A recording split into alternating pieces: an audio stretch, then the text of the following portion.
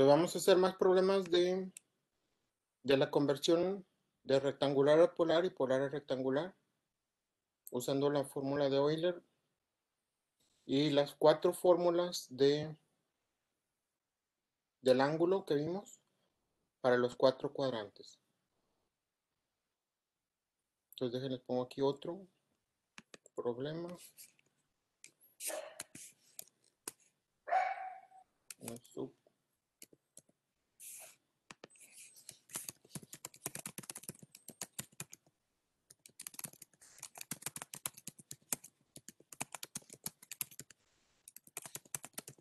Rectangular.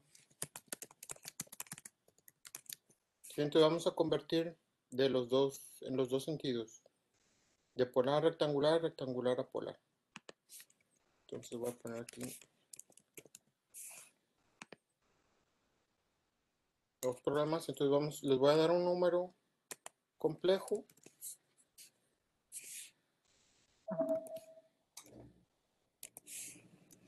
¿Sí? Y lo vamos a convertir aquí en esta forma, como se los estoy dando, es cartesiano. Entonces quiero decir que este hay que convertirlo a polar. Entonces lo primero que hay que hacer es determinar en qué cuadrante está.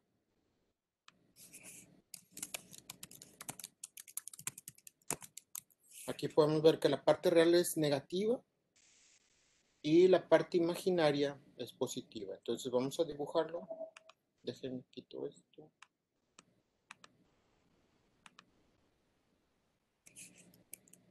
Entonces sería menos 2 más 2i.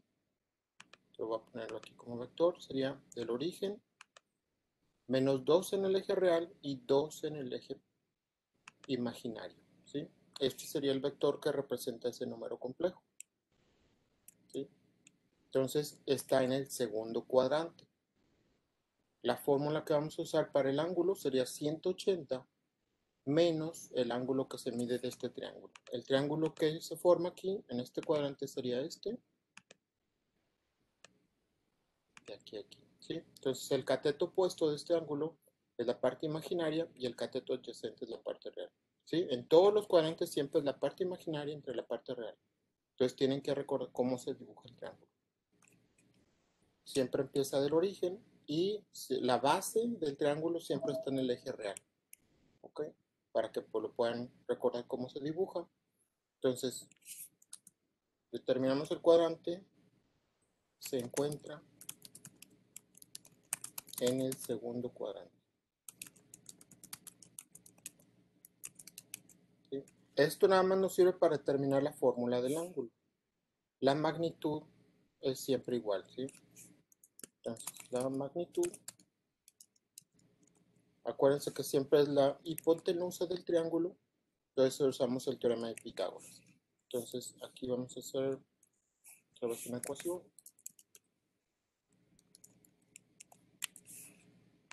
Entonces voy a poner la magnitud del vector A es igual a la raíz cuadrada de la suma de los cuadrados. Entonces voy a poner aquí menos 2 menos 2 al cuadrado más 2 al cuadrado. Y si hacemos las operaciones sería ese cuarte de 4 más 4. Aquí como tenemos el signo negativo elevado al cuadrado, cambia positivo. Todos los términos dentro de la raíz siempre deben de quedar positivos y el resultado igual positivo. Siempre la magnitud es positiva. Entonces, esto que nos queda, raíz de 8.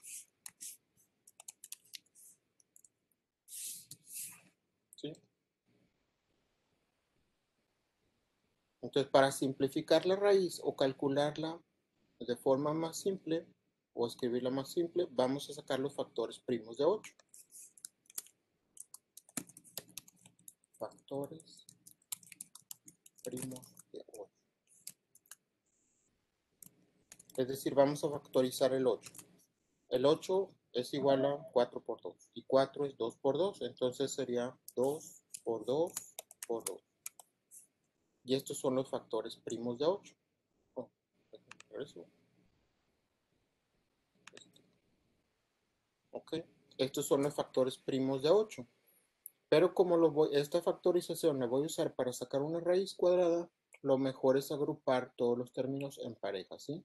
Entonces aquí esto también lo podemos escribir como 2 por 2 al cuadrado. Se podría escribir como 2 al cubo, pero como les digo, lo mejor es agrupar en parejas para poderlos eliminar con la raíz cuadrada. ¿Sí? Entonces, si sustituyo esto aquí, dejen pongo otra ecuación. Entonces, así vamos a poder simplificar el resultado. Ahorita tenemos que la magnitud de A es raíz de 8. Pero 8 es 2 raíz, 2 por 2 al cuadrado. Entonces voy a sustituir esto aquí. Entonces puedo descomponer esta raíz en dos raíces. Este cuarte la raíz de 2 por la raíz de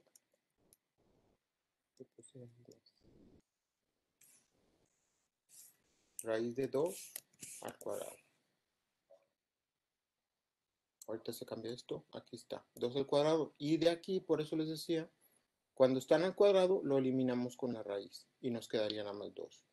Entonces quiere decir que raíz de 8 es lo mismo que 2 por raíz de 2.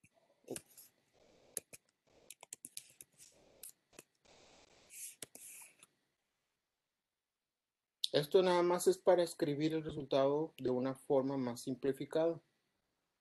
Lo podrían escribir así o podemos calcularlo. ¿sí? Déjenlo, calculamos acá. Entonces, raíz de 8, este es el MATLAB. Aquí está, 2.82. O podemos calcular 2 por raíz de 2. ¿Sí? Igual, es lo mismo. Y en Excel igual lo podemos calcular aquí. Entonces aquí es raíz de 8, ponemos igual SQRT 8 o podemos hacer la operación 2 por raíz de 2. ¿sí? Cualquiera de las dos es exactamente lo mismo. Entonces podemos poner igual aquí en, en esto, aquí puedo poner raíz de 8, puedo poner 2 raíz de 2 o podemos poner el 2.8284.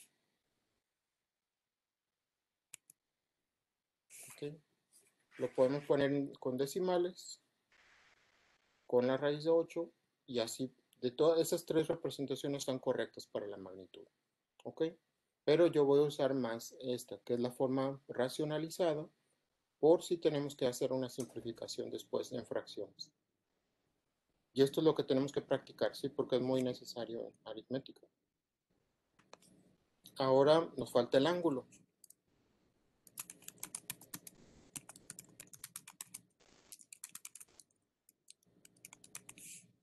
Entonces la fórmula que vamos a usar es la del segundo cuadrante.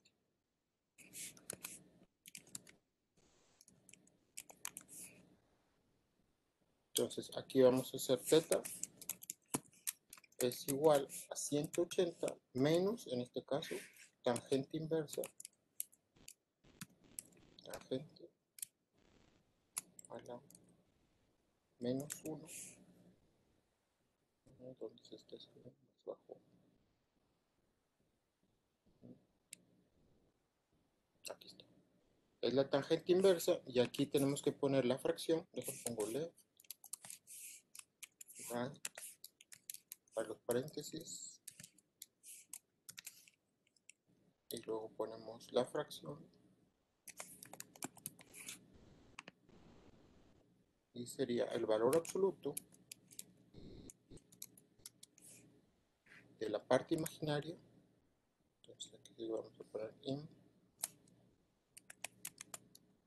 Del número complejo. Entre el valor absoluto de la parte real el número complejo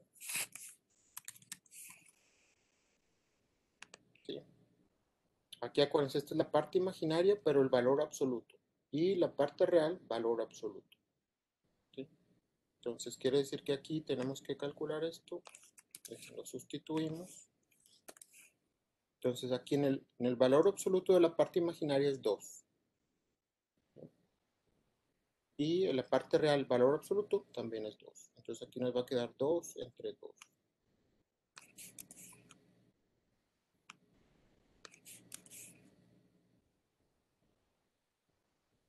Entonces quiere decir que tenemos que sacar la, el 180 menos la tangente inversa.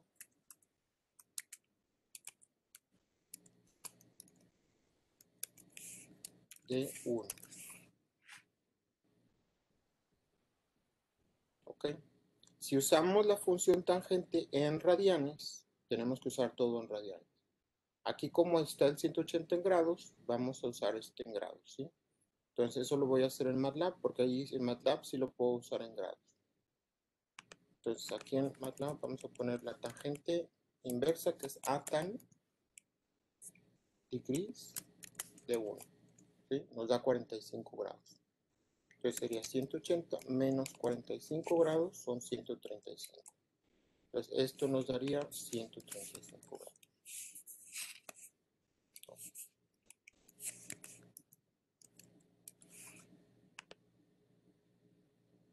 ahorita se compila eso, pues algo mal.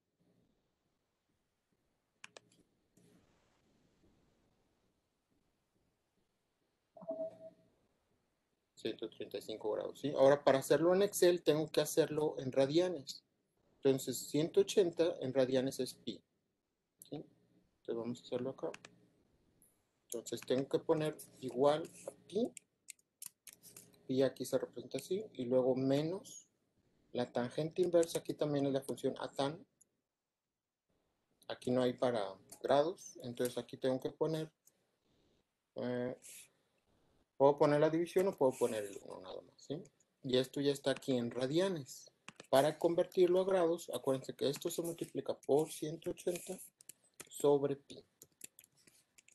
Y ahí está, 135 grados exacto. Y ahí está el ángulo en radianes y en grados.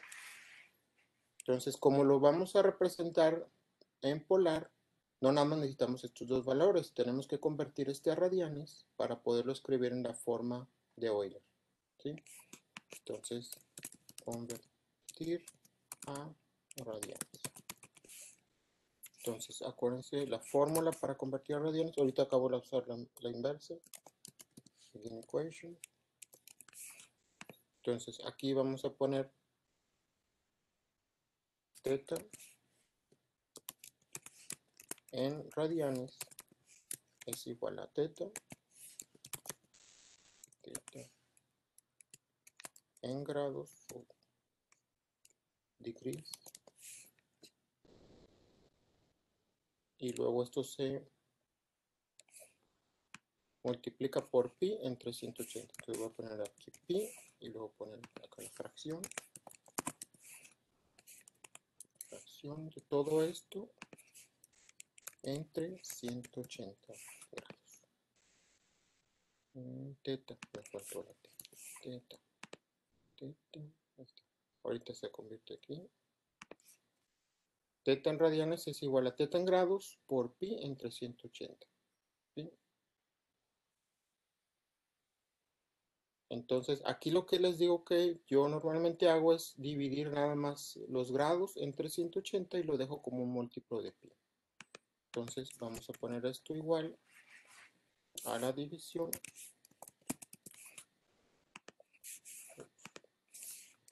de 135 sobre 180 y luego por.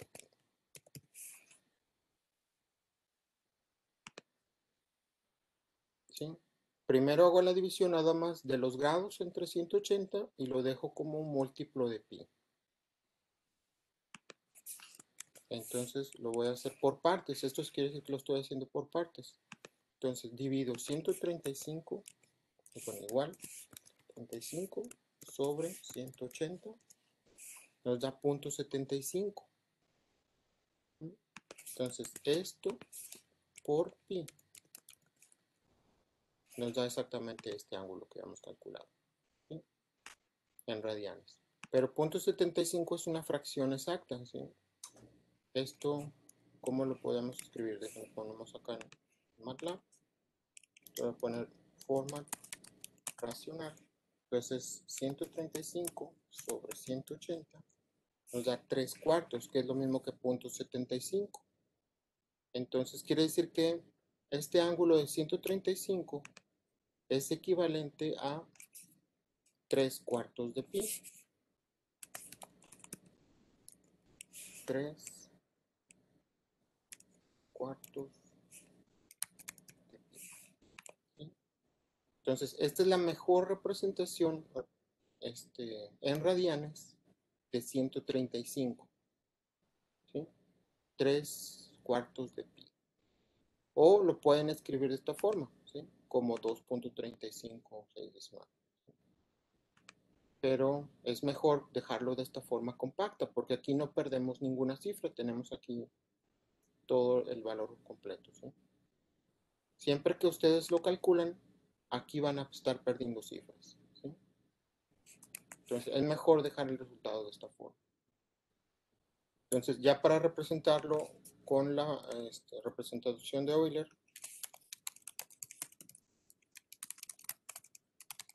que es donde tenemos ya la representación polar, entonces aquí nos va, vamos a usar este, llaman la magnitud y el ángulo.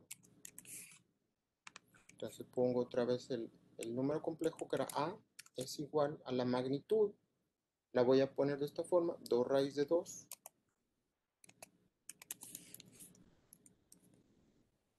2 y luego supone la exponencial de Euler o la constante de Euler elevado a la, al ángulo multiplicado por i. Entonces aquí lo voy a poner, poner como 3 pi i sobre 4.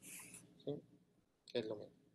3 pi sobre 4 y siempre se agrega aquí el, la, la, unidad imaginaria ¿sí? para indicar que esto es un número complejo.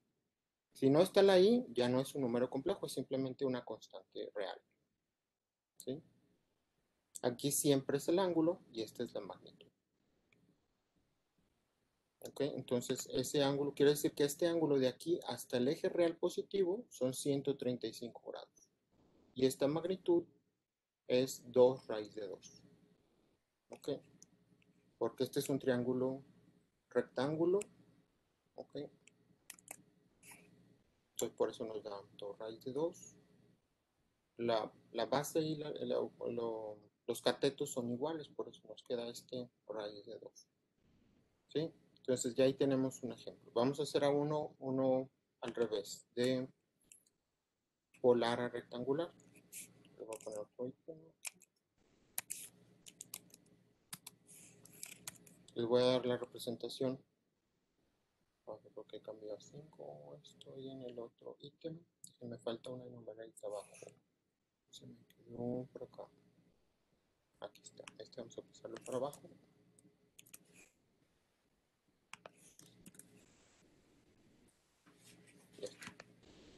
Pasar a B este sobre. Um, falta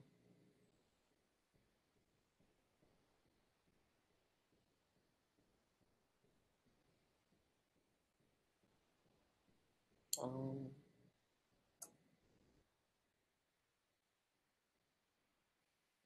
Me falta un enumerate, déjenme ver cuál. Porque esto no debe salir 5. Ítem. Aquí está. Ítem. Ítem.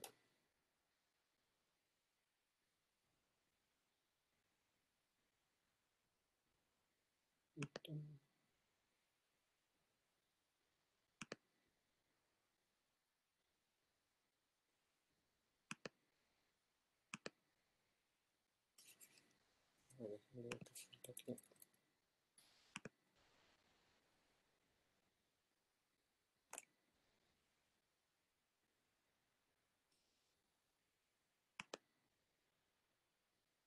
Mm.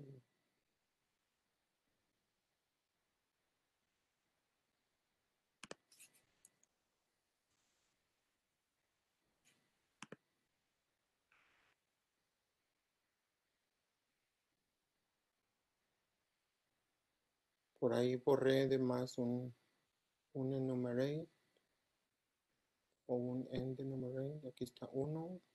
Este. No hay nada más, ¿no? End document. Enumerate.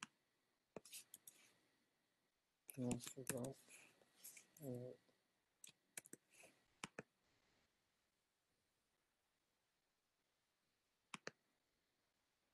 Déjenme ver si se compila aquí este. Vamos a ponerlo. B es igual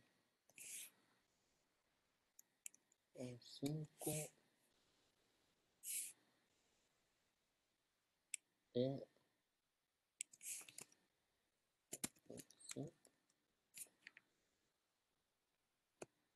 Este va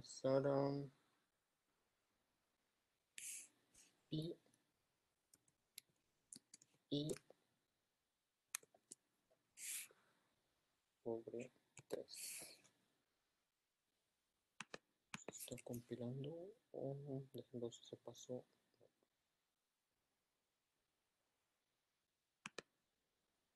Aquí hice algo, no sé qué borré de más. Mm, vamos a ver.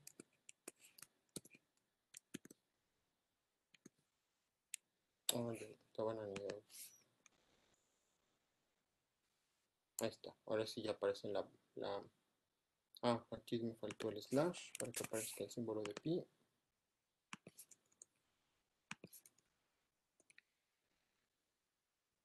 Y aquí está. Esta es una representación polar. ¿sí? Tenemos la magnitud y el ángulo. Entonces, en Excel no podemos escribirlo así. Aquí tendríamos que poner, tengo que usar la magnitud en una, en una casilla y el ángulo en otra, ¿sí? Para manejarlos por separado. Entonces pongo 5 y el ángulo es nada más pi tercios. La i nada más nos indica que es un número complejo en forma polar. Entonces el ángulo es pi sobre 3. Entonces aquí voy a poner pi sobre 3. Ahí está. Entonces esta es la magnitud y este es el ángulo en radianes. Lo voy a convertir aquí a grados. Entonces sería este por 180 sobre pi. Son 60 grados, ¿sí? Este es el, el número complejo que estamos representando. Um, entonces, la fórmula de Euler nos sirve para convertir este a rectangular. Se usa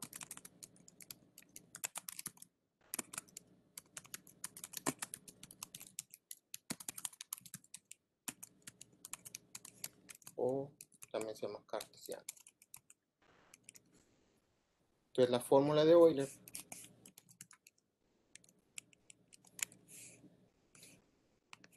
lo que nos dice es que el número complejo, así exactamente como 5e a la, voy a ponerlo aquí,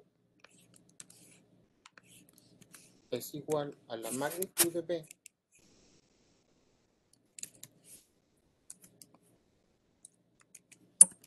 del número complejo por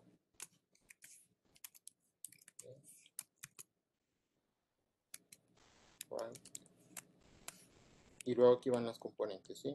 Quiere decir que la magnitud es un, es un factor común y se multiplica, me falta un ver, ver.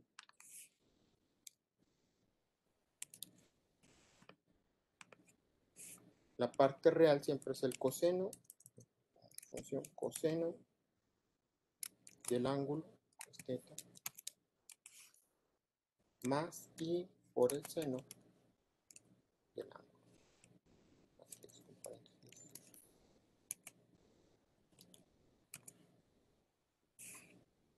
Y esta es la fórmula de Euler. El número complejo en forma polar se descompone en la parte real y la parte imaginaria, donde el factor común es la magnitud. Ya tenemos la magnitud de 5. Esa aquí nos los da como un dato. Y el ángulo es pi tercios. Entonces, pongo aquí los datos nada más.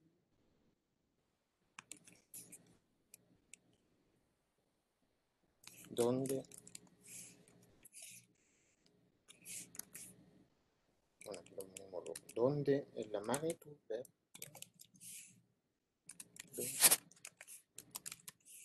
es igual a 5 y aquí lo tomamos de los datos y como matemáticas y el ángulo a doble.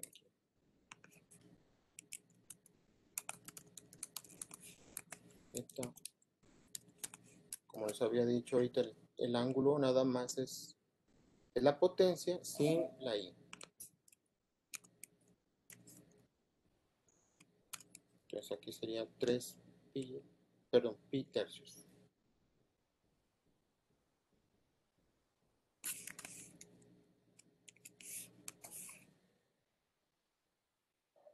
Y estos son los datos que nos da la, representación polar y solamente hay que sustituirlos aquí.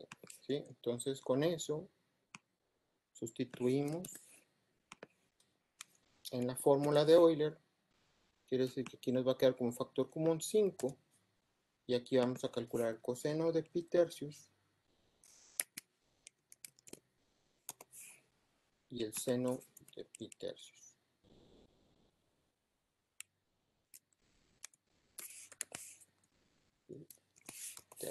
que ya lo habíamos convertido a grados.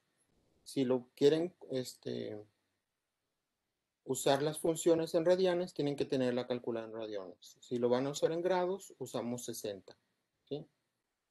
Ya vimos que esto nada más se multiplica por 180 entre pi, entonces como tenemos pi se elimina, nos queda 100, 180 entre 3 son 60.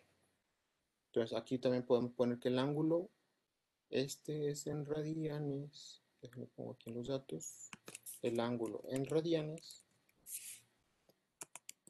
es pi sobre 3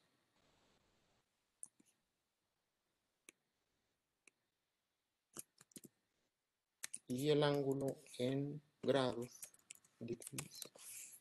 es 60 grados.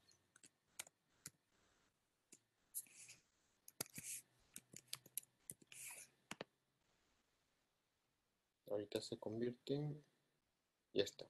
¿sí? Estos son equivalentes. Ya lo acabamos de calcular aquí. Acuérdense, nada más se multiplica por 180 entre pi y queda 60 grados. Entonces, esto lo podemos calcular de esta forma o lo podemos calcular con grados de cualquiera de las dos formas, dependiendo de cómo usen la fórmula, la, la calculadora, perdón, o el MATLAB podemos cambiar la función aquí, pero la representación es exactamente la misma. ¿sí? Entonces, aquí podemos poner 60 y aquí también. Podemos hacer el cálculo con esta o con esta, dependiendo de cómo tengan su calculadora. Si está en radianes, lo usen así. Si está en grados, lo usamos así. Compile. Y ahí está. Entonces, lo voy a hacer aquí en Excel. En Excel solamente nos lo permite hacer en radianes, entonces tengo que usar pi sobre 3. Entonces, la magnitud ya la tenemos. Voy a calcular las, las eh, coordenadas real, que es el coseno, y la imaginaria es el seno. Entonces, se hace por separado siempre. Entonces, pongo el coseno del ángulo en radianes. Es la parte real. Y ahora, el seno, nada más se pone seno, ¿sí? Por, la parte, por el el ángulo en radianes. Entonces aquí ya tenemos separada la parte real y la parte imaginaria. Tenemos que multiplicarla por la magnitud. Entonces sería la magnitud por la parte real y luego la magnitud por, por la parte imaginaria. Entonces ahora lo convertimos a un número complejo. Porque tenemos la parte real, coma, la parte imaginaria. Y ahí está el número complejo. Aquí como sale muy grande podemos este, hacer un redondeo en la parte imaginaria. Se puede poner desde acá. Le podemos poner aquí la función round para que no nos ponga todas las cifras. Ah, round tengo que ponerle coma, el número de dígitos, le podemos poner 4. Ah, bueno, pues 3. ¿Sí? Ya está redondeado. ¿Sí? Para que no me salgan todas las 16 cifras. Así lo redondeamos. Igual este lo pueden redondear. Porque eh, al convertirlo a complejo, te pone todas las cifras. Entonces es mejor redondearlo antes. Y aquí ya está el número complejo. ¿Ok? Estos son su componente real y la parte imaginaria. Entonces aquí vamos, vamos a hacerlo en MATLAB para que vean que también aquí es exactamente lo mismo. Entonces sería, lo puedo poner toda la operación aquí completa, que sería coseno en grados, pongo 60 y luego aquí le pongo más y aquí puedo hacer la operación en complejos, seno en grados de 60. Y aquí me lo da en fracciones, pero lo voy a poner así, para que sea igual ahorita. 2.5 es lo mismo que 5 medios y aquí nos da 4.33, ¿sí? que era lo mismo que teníamos en el Excel. Eh, aquí está. 2.5 y 4.33. Entonces, esto nos dice que es igual a 2.5 más 4.33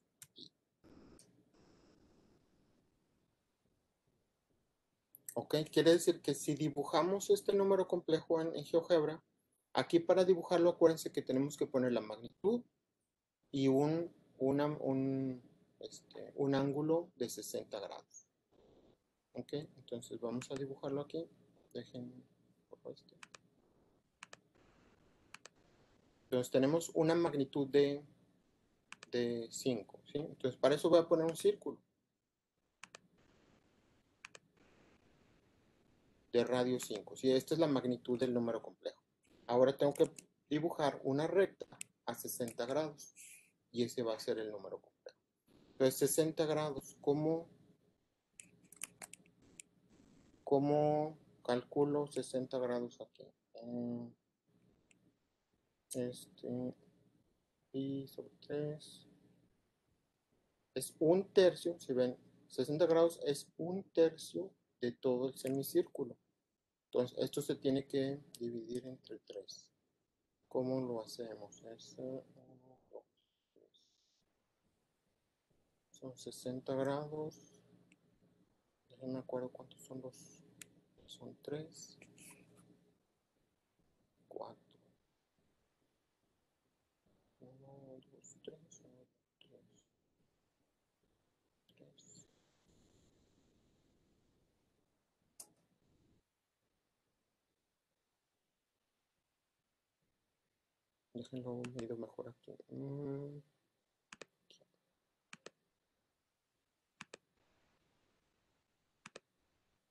Entonces voy a poner aquí 60 grados para, que se dibuje aquí solo.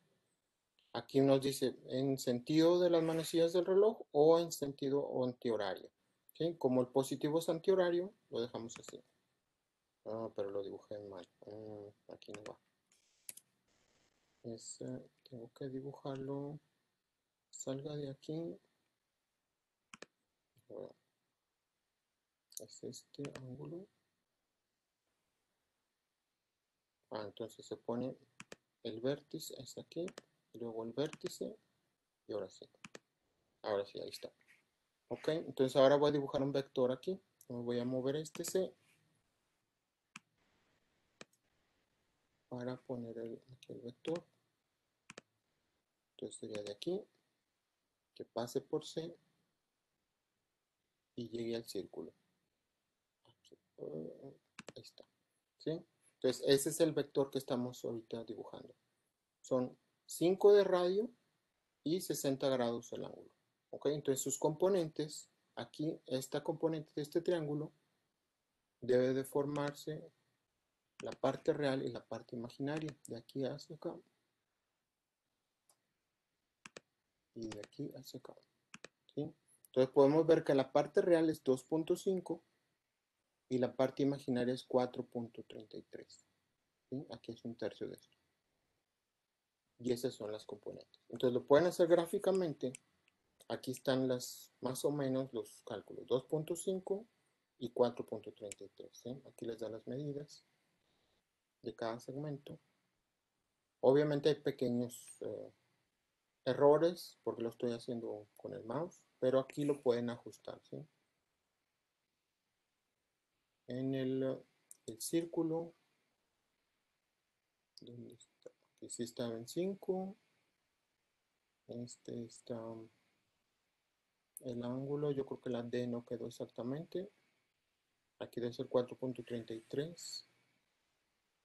Entonces siempre hay cifras pequeñas que se, pierden al hacer el dibujo. Pero es, es, la idea de este resultado. De la parte real y la parte imaginaria que son positivas. Queda en el primer cuadrante.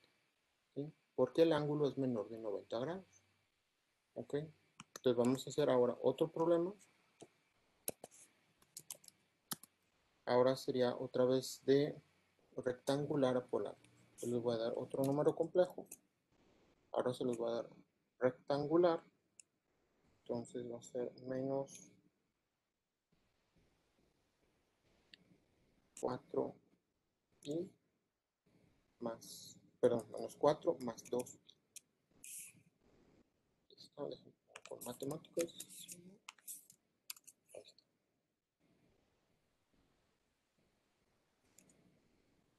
Entonces, este está en representación rectangular o cartesiana porque tenemos la parte real y la parte imaginaria. Entonces, vamos a calcular la magnitud. Y ahorita checamos el, cuadrante. Sería, déjenme pongo aquí, sería menos 4. ¿Está en qué cuadrantes? Menos 4 y 2 y déjenme otra vez esto. Menos 4, con un vector, es menos 4 en la parte real y 2 en la parte imaginaria. Nos queda en el segundo cuadrante. Fue el mismo que usamos ahorita, menos eh, cuadrante. Quedó donde mismo. Vamos a lo mejor cambiarlo de, de cuadrante. Mm, le voy a poner... Eh, Vamos a cambiarle mejor los signos, que sea 4 y 2 negativos. para que cambie de cuadrante y no usemos la misma fórmula. 4 y menos 2. Entonces lo cambié de sentido para acá. 4 y menos 2. Entonces, nada más saqué el, el, vector negativo estaría ahora en el cuarto cuadrante. ¿sí? Entonces, para la magnitud usamos la misma fórmula de Pitágoras. Y ahorita vemos la información que nos da el cuadrante, que es para el ángulo. Entonces la magnitud, usamos la fórmula que es el valor, bueno, la notación de la magnitud, es así, como un valor absoluto.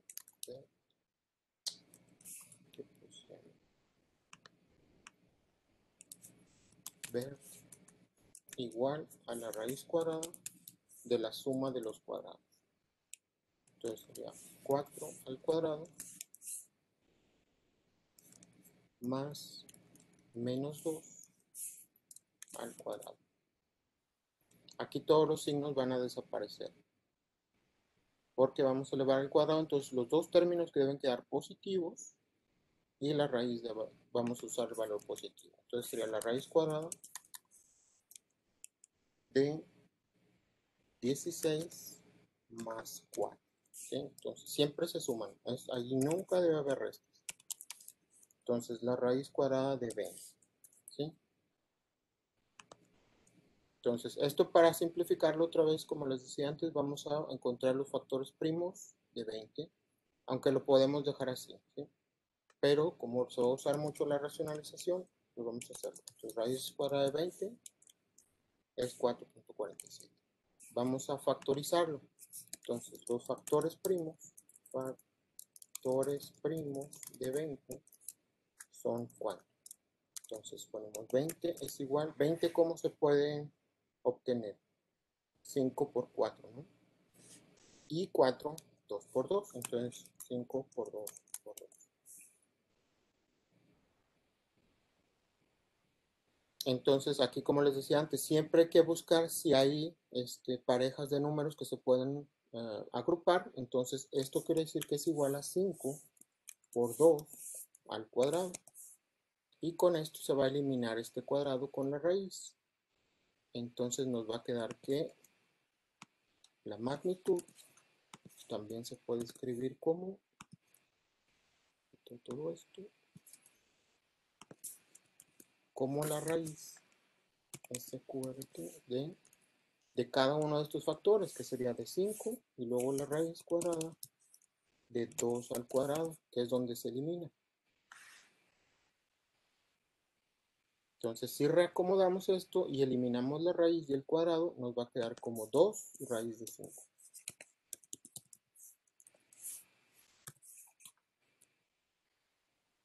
Y es, debe ser lo mismo que raíz de 20. Entonces déjenlo, veamos aquí. Entonces 2 por raíz de 5 es lo mismo que raíz de 20. ¿sí? Y ahí está. Entonces podemos escribir el resultado que era 4.4721 en cualquier lugar 4.4721 entonces esta sería la magnitud que se puede representar de cualquiera de esas tres formas, como raíz de 20, como 4.47 o como 2 raíz de 5. Esto lo estoy haciendo igual porque en todo el curso vamos a usar mucha racionalización.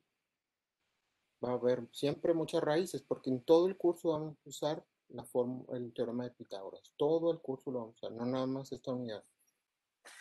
Y ahora ya tenemos la magnitud, ahora nos falta el ángulo. Como les decía, el vector se encuentra en el cuarto cuadrante. Entonces usamos la fórmula que va a ser 360, que es todo el círculo, menos el ángulo que se forma por este triángulo. El triángulo que se forma aquí, acuérdense, siempre la base es en el eje real y la parte imaginaria es el cateto opuesto. Entonces, vamos a calcular este ángulo con la tangente inversa y simplemente restamos 360 menos eso. Entonces la fórmula va a ser θ es igual a 360 menos la tangente inversa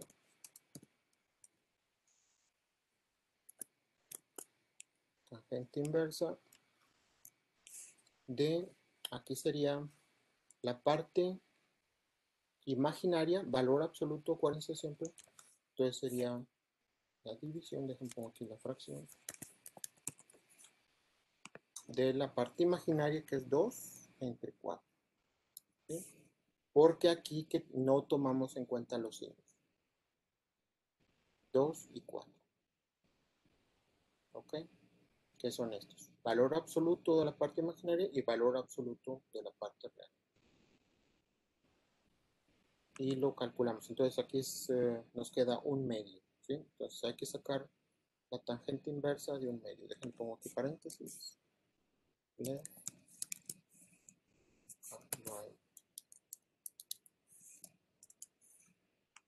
esto otra vez lo vamos a, escribir por aquí como tangente inversa de un medio. O punto 5 como lo quieran poner. Entonces, si lo vamos a calcular en grados, pongo la función en, grados. En MATLAB sí lo podemos hacer. Entonces tengo que poner 360 menos a tan grados, degrees, de punto 5. Y aquí me da este ángulo. Lo podemos hacer aquí directo. En Excel vamos a hacerlo parte por parte, que sería primero sacar la tangente inversa de punto 5. Entonces aquí pongo a tan. Aquí no tengo para grados, entonces tengo que poner punto 5. Y este me va a dar un ángulo en, en radianes. Lo voy a convertir a grados. Entonces esto por 180 entre pi. Y ahora tengo que hacer la operación 360 menos este ángulo me tiene que dar lo mismo, 333. Ya lo mismo. y esto es en grados. Entonces esto nos da 360 menos, como lo hice acá en partes, lo voy a menos 26.565 26.565 es igual a 333.4349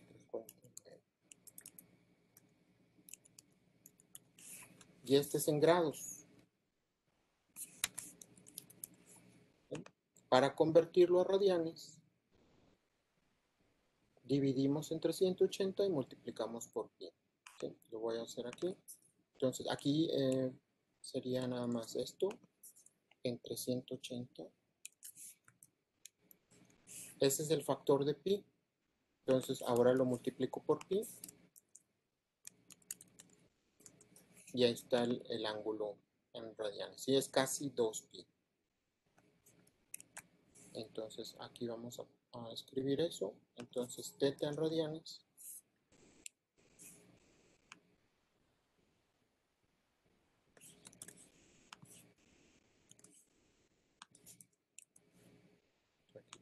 teta en radianes, que es para la representación de Euler, es igual a esta fracción,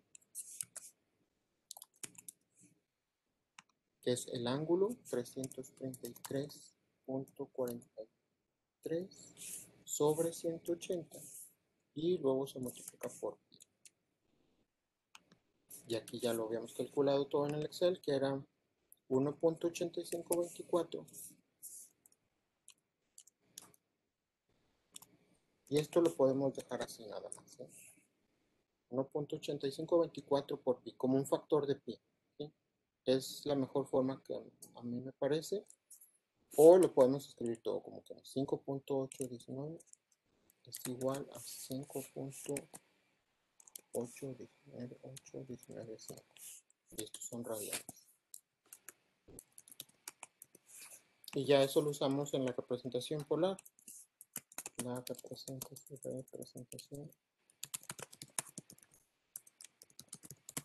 de Euler es representación de Euler.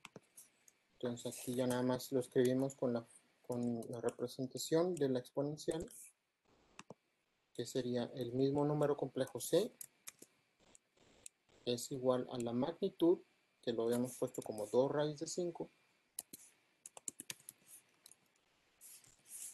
por la exponencial elevado al ángulo en radianes por i. ¿sí? Que aquí lo voy a poner, acá quedó en la siguiente página. Aquí está. Lo voy a poner con el factor de pi. Pero lo pueden poner con cualquiera de estos dos que está aquí. 1.85, 24 pi i. Siempre tiene que ir la i, si no, no sería un número complejo y ya ese es el resultado.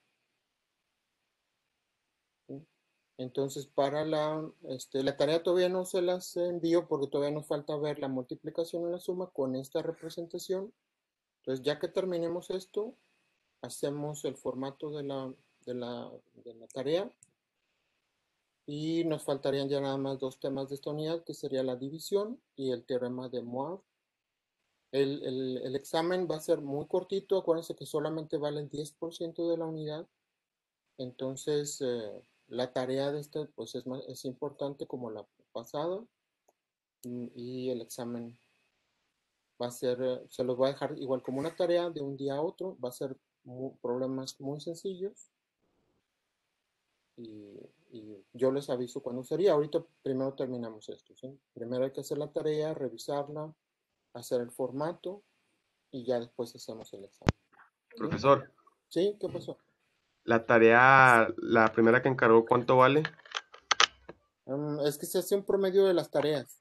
Entonces, uh, no me acuerdo de los porcentajes, creo que era 30. No me acuerdo de la rúbrica. Es que tenemos que hacer un promedio de las tareas en esta tarea va a haber la parte práctica, que les voy a encargar que hagan operaciones en Excel. Entonces ahí va a estar dividido en una parte el reporte y otra parte la práctica.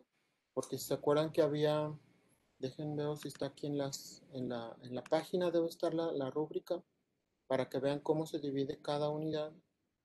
Aquí en esta presentación, aquí déjalo, aquí la, la, la rúbrica. Estaba aquí. No, está en el otro, está acá. Aquí está la rúbrica.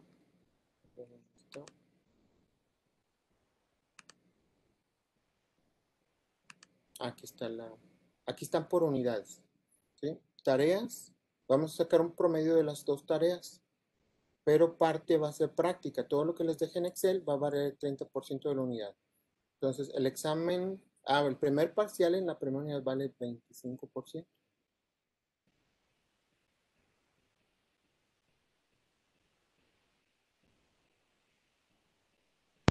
Las prácticas que vienen siendo. Sería lo que les voy a dejar de Excel. De la, de la segunda tarea se va a dividir en dos partes, un reporte y los problemas en Excel. ¿sí? Para que practiquen cómo usar Excel. Y otra parte va a ser GeoGebra. Entonces, todo eso de la práctica va a ser en esta segunda tarea, que va a ser dibujos en GeoGebra, cálculos en Excel, y lo, lo, lo que va a ser el, reporte, se los tomo como tarea. ¿sí? Y lo otro como práctica. El examen va a valer 25% para esta unidad. Ok. ¿ok? El examen final, ¿verdad? Va a valer 25. Sí, es la cuarta parte de la unidad. Entonces, el 70% son las tareas, es lo más importante. Entonces, hasta ahorita solo encargado la, la primera tarea. Nada más tenemos una tarea. ¿no? Nada más llevamos una tarea, entonces la segunda tarea va a estar dividida en prácticas y problemas. Pero es todo lo que le, todo lo que ha encargado. Nada más eso es lo que hemos subido. Te escucho muy bien. Eso, eso es todo lo que ha encargado, ¿no? Sí, nada más, sí. es todo, es todo nada más. Ah, ok. Sí, Gracias. Bueno, entonces los veo mañana. Vayan repasando lo que hemos visto para que no se atrasen para el examen, que vayan estudiando. Y cualquier Ok, profe, muchas gracias. sí, gracias a ustedes. Nos vemos mañana. Hasta mañana. Que buen día. Ah, igualmente. Gracias.